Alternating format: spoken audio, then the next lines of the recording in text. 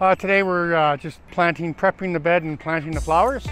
As you can see, there's uh, lots of roses, rows of uh, of sunflowers and some marigolds and some zinnias going in. Yeah, it's quite a process. There's a lot of prepping to do.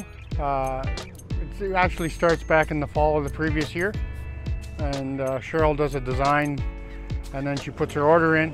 And then quite often it has to get changed if, if, the, uh, if the specimens aren't, aren't available at that time. So uh, yeah, so it's a big process from there. And then the, once the planning's done, then you wait until the next, the next spring and all the prepping with rototilling and, and uh, raking and all that kind of stuff. And anytime that we need to add uh, additives to the soil, like uh, fertilizer or uh, some, maybe the odd time we'll put in something to fluff the, the bed up, like, uh, like peat moss, that kind of thing. So, and then the prep, prep for the bed, once it's raked out and flattened and ready to go, uh, Cheryl has to take her design and, and put it on the bed, draw it out on the bed. And then what they do is they, they come next, they do the planting of the flowers and all, uh, all of the uh, hard work from the time it's designed to uh, planting is just showing with the colors and all that. Oh, well over 40,000. Yeah, uh, and that's just the annuals. Um, and that probably doesn't include uh, a lot of the planters and the hanging baskets. So yeah, about 40,000. So basically once a month they have to go through and, and hoe out the bed, make sure that the soil is nice and fluffy for the roots to penetrate.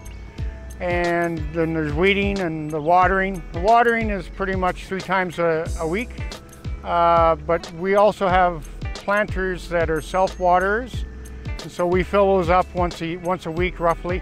And they pretty much just take in the water from the reservoir. So. You're wanting to uh, water early in the morning so you capture the, uh, that amount of moisture that goes into the soil.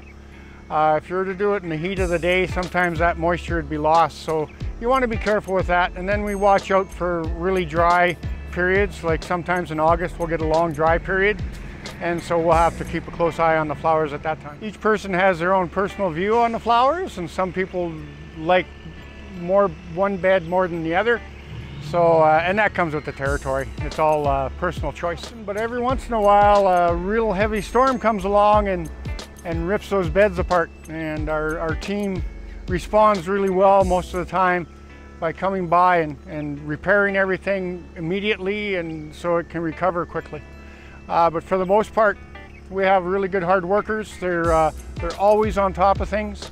And yeah, it's, it's a great thing for them to do and it's, uh, it's really uh, rewarding as well.